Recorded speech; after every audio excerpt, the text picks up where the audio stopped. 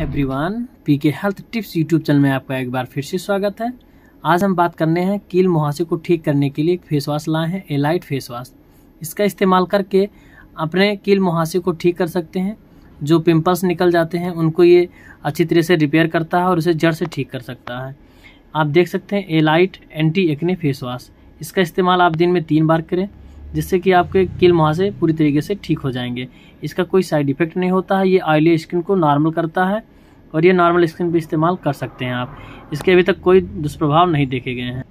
ये नेचुरल तरीके से बनाया गया है, आप यहाँ देख सकते हैं।